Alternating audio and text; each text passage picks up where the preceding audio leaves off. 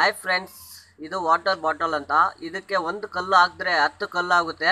ಇದು ಯಾವ ಥರ ಮಾಡಬೇಕಂದ್ರೆ ಇವಾಗ ನಾವು ತೋರಿಸ್ತೀವಿ. ಮೂರು ಜನ ಫ್ರೆಂಡ್ಸ್ ಇದ್ದೀವಿ ಹಾಕಿದ್ರೆ ಹತ್ತು ಕಲ್ಲು ಆಗುತ್ತೆ. ಇದು ನಮ್ಮ ಫ್ರೆಂಡ್ ನೋಡ್ತಾನೆ ಇವಾಗ. ಒಂದು ಕಣ್ಣಲ್ಲಿ ನೋಡ ಇದು.